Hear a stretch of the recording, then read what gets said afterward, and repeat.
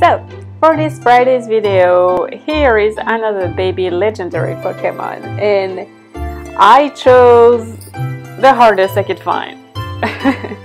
I chose to try to do Zapdos.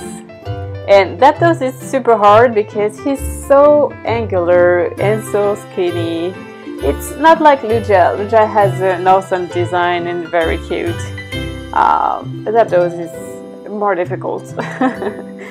so I did my best. Um, I mean, it turned out okay. It's not the best ever, but that was a challenge. And um, I'm, I'm still doing Inktober, so I, uh, had kind of a limited time to uh, give to that baby Zapdos. But well, that, that, that's still cute, and I think I will uh, I will do all the babies or several babies because that would be cool to have them all on that tape format with that um, gray tone paper and with um, pen, color pencils.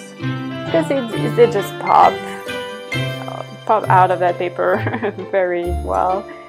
So um, so here we go. This is the second baby and uh, I had fun doing it I hope you will like it. I um, as I was saying I'm still doing Inktober. Uh, if you want if you want to see my drawings you can check them on Instagram or Facebook. But if not don't worry I will make a video at the end and um, do a tour of my Inktober sketchbook and drawings.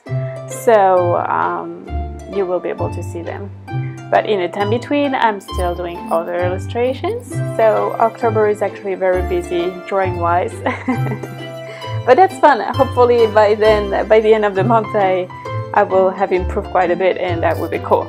So anyway I hope you like that little baby Zapdos and I will see you next week. Bye bye